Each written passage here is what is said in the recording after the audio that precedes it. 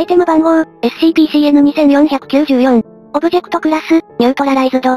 特別収容プロトコル。SCP-CN2494 は現在完全に解体されています。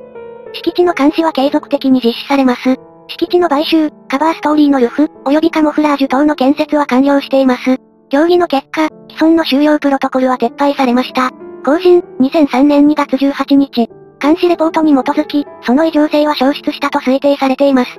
SCP-CN2494 の監視は中止され、SCP-CN2494 の位置の捜索は打ち切られました。更新後、SCP-CN2494 のオブジェクトクラスはニュートラライズドとしてアーカイブされます。説明。SCP-CN2494 は、1988年12月26日に山姫建設株式会社によって施工が開始された、風南省チェン町市にある建設現場です。この施設は学校として設計されました。1989年3月14日の崩壊事故後、建設現場は以下の異常性を示しました。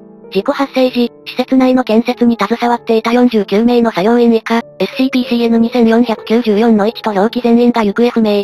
49名の作業員の家族の記憶からは作業員に関する記憶が喪失しており、関連する記憶が全て別の記憶に置き換えられる。SCP-CN2494 の当初のプロジェクト、学校建設に関する社会認識の欠落。SCP-CN2494 の存在を外部から認識できなくなる。周辺の住民は SCP-CN2494 付近で手足の痛みを訴え、赤ちゃんの泣き声と表現される現状を経験します。事故発生直後、SCP-CN2494 への侵入と調査の試みが行われましたが全て失敗しています。インシデントログ、2494-1、1999年9月23日、SCP-CN2494 の本館3回以上が崩壊し、全ての異常性が消失しました。突如として世間の目にさらされたため、この事象は周辺地域の住民の間で混乱を引き起こし、報道機関を引きつけました。目撃者には記憶処理が施され、カバーストーリーがルフされました。その後、機動部隊軍連新チョンウォンが SCP-CN2494 内を調査し、49名すべての SCP-CN2494 の位置を発見し、救出しました。すべての SCP-CN2494 の位置は、外見や健康状態等が1989年に失踪する以前と同じ状態です。再崩壊の原因は自然風化と推定されており、異常性が消失した原因は不明です。ほい1、インタビューログ。対象、SCP-CN2494 の 1B、元 SCP-CN2494 建設現場監督。インタビュアー、神社おじい博士。吹き、SCP-CN2494 の 1B は一人っ子です。彼の母親は、彼が1歳の時に他界しました。記録開始。1989年から現在までの SCP-CN2494 での生活状況を覚えていますか？よくわかりません。思考がぼやけているような、夢を見ているようでした。どのような夢ですか？母の夢です。そして兄弟姉妹、浮きはない家族だったものですから、母は私に優しかった。私はいつも病気がちで、いつも母のせいにする。母に腹を立てている。SCP-CN2494 の 1B は両手で頭を抱える。母は私に愚痴も一言も言わなかった。私はなんてバカな。大丈夫ですか？はい。ごめんなさい。その後、自分自身に何か変化を感じますか？私は心身ともに良好です。今すぐ家族に会いたいです。記録終了。49名の SCP-CN2494 の1の検査の結果は全て正常でした。倫理委員会の承認後、SCP-CN2494 の1を D クラス職員として起用する動議が提出されましたが即日却下されました。全 SCP-CN2494 の1はクラス B 記憶処理を施した後、社会復帰を許可されました。ほいに、SCP-CN2494 探査ログ、探査チーム、機動部隊軍連新チョンゴン、建設型異常対策クラス。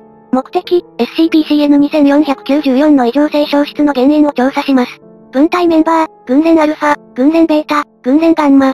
記録者、軍連ガンマ。記録開始。機材チェック完了。通信チェック完了。オールクリア。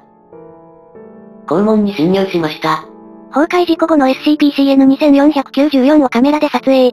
中庭には3本の崩れかけたコンクリートの柱が配置されている。本館に侵入しました。アルファは2階の調査に向かいました。私とベータは1階を調査します。廊下には大量の瓦礫が堆積していた。廊下にある7本のコンクリートの柱は上下の間でねじれている。教室は瓦礫の山です。ベータは高校時代のスケッチの授業を思い出したと言っています。カメラは教室を順番に映し出す。教室には無数の輪郭が曖昧なコンクリート製の彫像が立っている。了解。アルファが2階で使用可能なテープレコーダーを発見しました。カメラは表面が石灰の粉で覆われた古いテープレコーダーを映す。アルファは再生ボタンを押す。ごめんなさいお父さん。ごめんなさい。テープレコーダーからダメージノイズが発生する。女性の声のように聞こえますが、少し歪んでいて定かではありません。ベータが下へ続く階段を発見しました。図面には地下があるとは書かれていませんが。了解。地下の調査を行います。ここは浸水しています。柱がたくさんある。橋の下のようですが、付近に川があるという情報はありません。水の色は赤く変な匂いがする。アルファがサンプルを収集します。天井は灰色のコンクリートで、外周には数百本の柱があり、建築設計図とは一致しない。赤い水の中を分隊員は進んでいくが終わりが見えない。おい待て、水に浮いているのは人の死体か？分隊は水面に浮かぶ死体に近づく。死体は SCP-CN2494 の1ビートに多外見特徴を持っていたが左足が欠損していた。着衣の胸につけられたバッジから身元が判明する。水中からはさらに多くの死体が発見される。全49体、特徴は財団に収容されている SCP-CN2494 の位置と一致しているが、すべての死体は死死が欠損している。すべて引き上げましたが、腐敗している様子がない。もし彼らが実際にここで死んでいるのなら、あの生存者たちは一体、何が起こっているのですか？アルファはメンバーに先に進むように合図した。誤ってカメラを水中に落下。人型のコンクリート像が大量に沈んでいる。分隊は巨大な円形の回廊を進む。廊下の壁は円形のプリーツで盛り上がっている。高さ数十メートルはあるようです。突然ベータが倒れ、うずくまる。ベータが異常な影響を受けていることを確認しました。はい、症状は幼児対抗のようなものです。アルファはベータの戦闘服のアンカープロトコルを起動させ、ベータをその場に安置した後、二人は先に進んだ。だんだん暖かくなってきましたね。なんだか気分が悪い。回廊には何百もの人型のコンクリート像が存在する。それをアルファは間近で観察する。水中の死体をどう思いますか？ええここで10年も生き残れるはずがない。水も食料もありません。我々は助け出せなかった。彼らはここにいる。カメラには廊下の奥にあるドアが映り込んでいる。アルファがドアを押し開けた。くそ。ドアの向こうから多数の異常実体が現れるが光を見て2秒以内に動きを止め、人の形をしたコンクリートの彫刻に変化した。その顔の表情は鮮明に認識でき、すべての個体が SCP-CN2494 の一実例それぞれに酷似している。この彫刻は繊細で生きているようだ。死んでいた人たちと同じ顔をしている。彫刻の中に赤い水が入っています。そして腹部にはホースが取り付けられている。分隊は、ドアの先にある球場の部屋を調査するがこれ以上得られるものはなかった。司令部からの帰還命令を確認し、直ちに帰還を開始します。記録終了。機動部隊軍連新チョンウォンによって回収された赤い水はサンプルテストが行われ、その結果、成分の2%が香料原料であり、成分の残り98%は人の用水に限りなく近い物質であるという結果が得られました。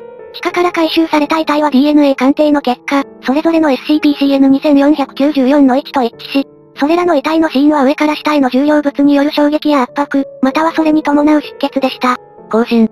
1999年10月9日、社会復帰後の SCP-CN2494 の1の追跡調査の結果、SCP-CN2494 の1全49名は家族と再会した直後、突然別れを告げて家族の元を去りました。現在49名の所在は不明です。機動部隊軍連新チョンウォンによる調査結果を考慮した上で、SCP-CN2494 の1の捜索は継続されています。更新。1999年10月12日、SCP-CN2494 の周辺から大量のコンクリートの破片が発見されました。更新。